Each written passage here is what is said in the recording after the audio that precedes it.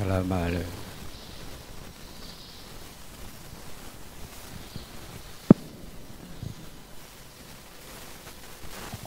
Assalamualaikum warahmatullahi wabarakatuh. Saniki dugi halaman 380 pas ngisor dhewe niku.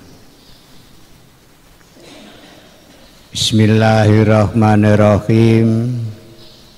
Al junubu wal khaidu la sayan minal qur'ani. Rawahu Al junubu wong sing isih junub durung adus wal haidu lan wong wedok sing men. La yakraani sayan aja nganti maca saitik itika minal qur'ani sangka kitab suci Al-Qur'an. Hadis niki nerangno larangane wong junanggung hadas cek hadas cilik cek hadas gede maca Quran. Lah sing disebut haid karo junub iku eh, nek maca Quran Allah sehingga sing dimaksud iki ya kabeh perkara Allah dilarang dening Allah Subhanahu wa taala.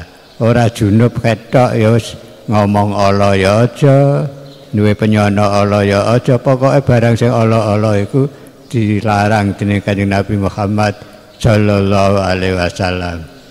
Jadi puncake agama iku nahi mungkar amar ma'ruf.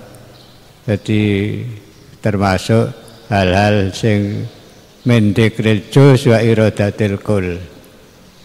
Disebut kait junub nah maksud kabeh perkara Allah aja nganti dilakoni. Halaman telung atus wolong puluh siji.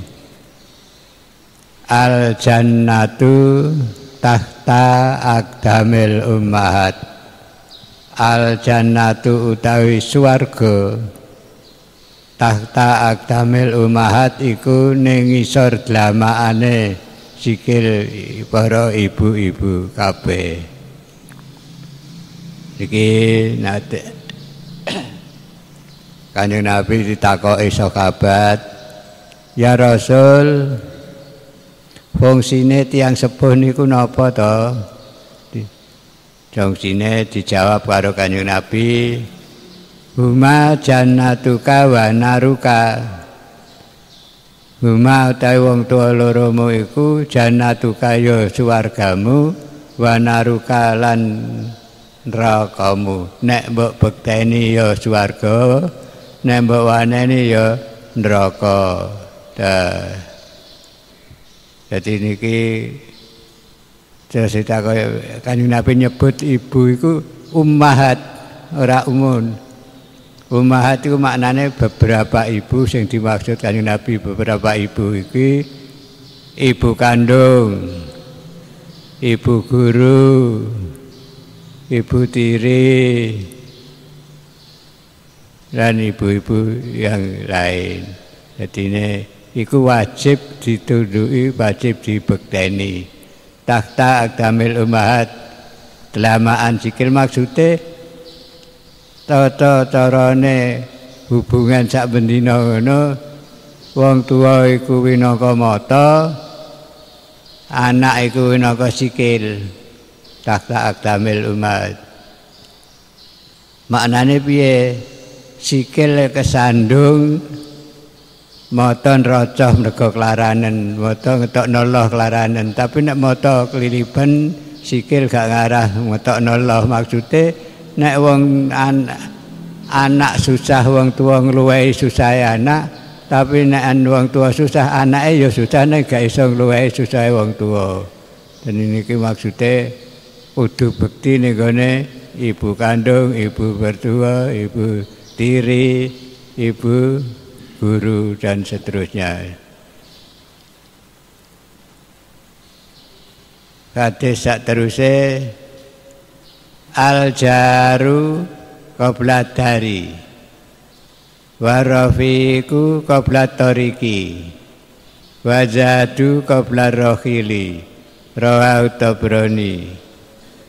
al jaru utawi milih tangga qabla dari sedurunge gawe omah warafiku lan milih kanca qabla tariki sedurunge berangkat lunga wajadu qabla rohili lan memperhatikan sangu qabla rohili sedurunge budal lunga.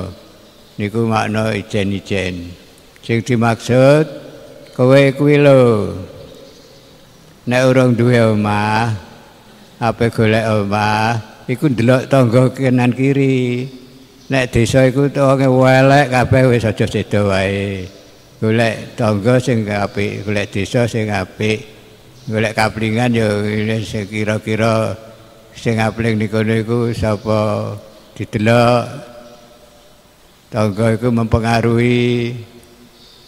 Warafiku kabla tariki semono ke nek lunga-lunga golek kanca ya kanca-kanca sing apik aja kanca sing ala. Muga nek kanca sing ala engko nek nemoni Allah ning dalan saban ketularan.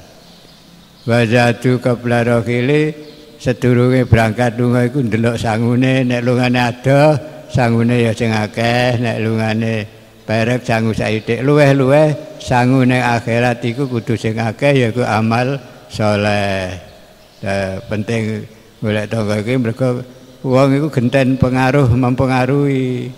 Nek ngantek senajan dek apik nek tanggane kono sak jalan iku elek kabeh ya kadang-kadang kena pengaruh halaman telung atus sulung puluh loro. Al jaru akhaku bisyuf ati akhihi. Rawahud dailami nyeritakno ingki hadis imam dailami.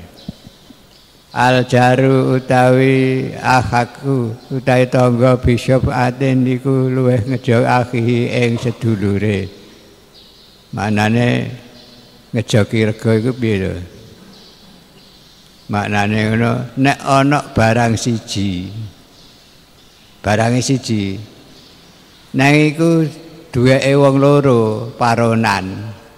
Iku nek sing siji arep adol kudu didol ning gone sing warek iku mau. Aja urung-urung didawakno tangga liyane tawakno sing perek sing welok gandengane iku. Dadi ana sirka sing sitoke kajat adol sing kunuku iku kudu sing bener. Ya senajan rada rega murah ning gone kancane sing duwe iku. Niki mbah kasbab sirkah koperasi dan lain sebagainya niku. Harful kai huruf K halaman telung atus ulung puluh telu. Habibullah ila ibadihi yuhibbukumullah Habibullah seneng kowe ning Allah. Ila ibadihi seneng kowe ning kaulane Allah. Yuhibbukumullah kowe disenengi Allah subhanahu wa taala. Seneng Allah seneng makhluke Allah iku ndadekno disenengi Allah subhanahu wa taala. Nah seneng makhluk Allah iku ya sing sopan ya wis akhlakul karimah dan seterusnya dan seterusnya. Kisare hujibatin naru bisahawati wa hujibatil jannatu bil makare. Hujibatin naru dikepung apa neraka bisahawati kelawan perkara sing nyenengno. wa batil jannatu lan dikepung apa swarga bil makari kelawan perkara sing ora nyenengno rawahu Abu Hurairah nyeritakno iki hadis sapa Imam Abu Hurairah titeni ae kegiatan-kegiatane wong iki nek kegiatane nyenengno banget ngantek kliwat wates niku jelas jurusan neraka Nek jurusan swarga iku nek nglakoni gak pati seneng, kaya ngaji ngeten iki gak pati seneng. Soale apa? Jurusan swarga. Nek karaokean ngono seneng. Jurusan soale apa? Jurusan neraka. Dadi manune dikepung niku jalan-jalan sing nglakoni niku lho. Jurusan neraka, jurusan swarga. Halaman telung atus solong puluh papat Hurima ala nari Kulu hayinen layinen jahlen koribin minanas Hurima dan haramno ala nari ing atase mlebu neraka. Kulu hayinen sapa wong sing gampangan?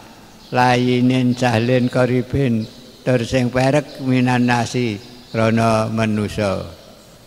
Saking manusa. Wong iku dawuh kanjeng Nabi diharamno mlebu neraka tegese mestine mlebu swarga iku wong sing gampangan tegese gampangan iku seneng menghormati wong ora njaluk dihormati. Dek sampai sapa wae hormat, suka ngurmati. Tapi dek dhewe ora pati seneng dihormati wong. Kaya bolak-balik kula aturake kanjeng Nabi Muhammad sallallahu alaihi wasallam nalika ditakoki sapa sing paling mulya, mestine jawabe aku. Tapi jawabe ora aku, ya sing paling takwa. Dadine seneng ngurmati wong ora tau njaluk dihormati niki si wajib nom lebu swarga dening Allah Subhanahu wa taala terakhir hasbu mri'in minal bukhli ayakula akhudhu haki kulluhu wala adda'u mendu sayan hasbu mri'in cukup ning wong minal bukhli lebu wong sing medhit.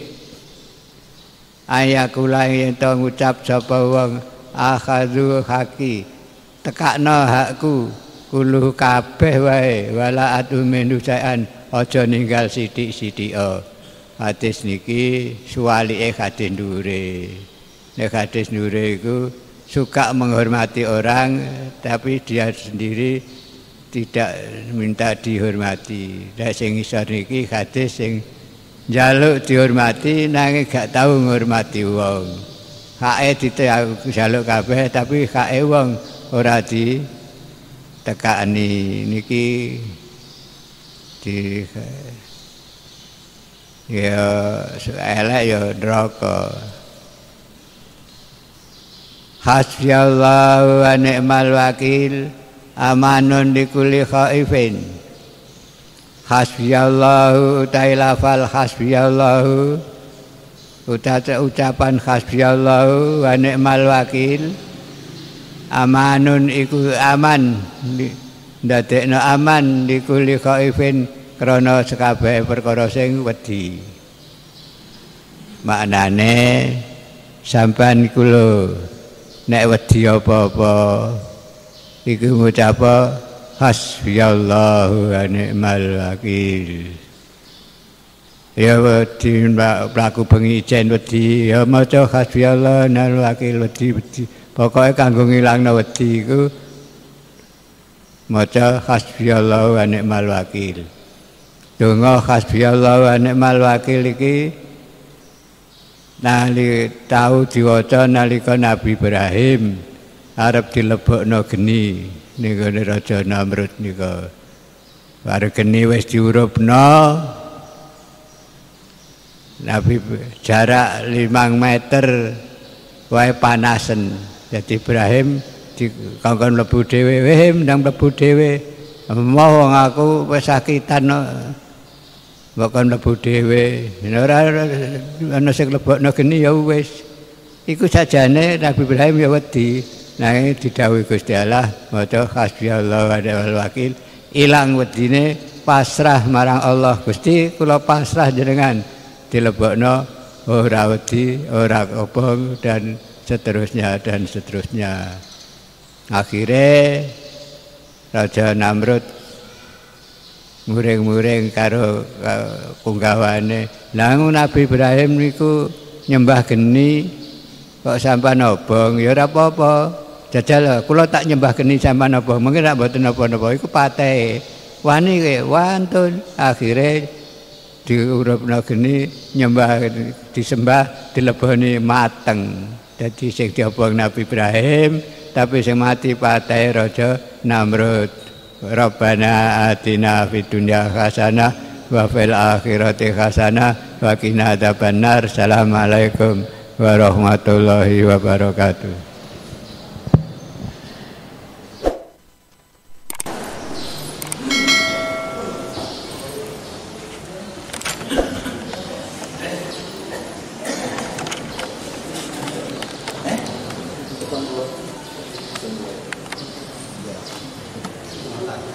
まだやっ？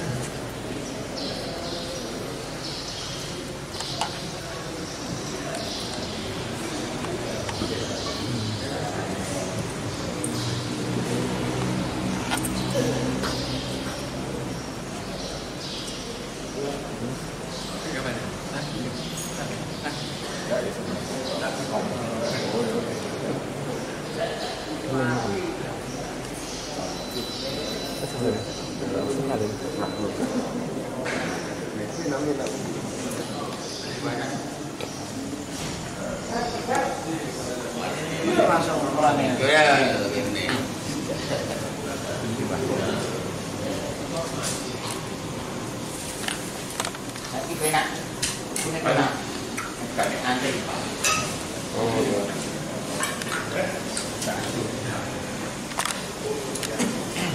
Good, good.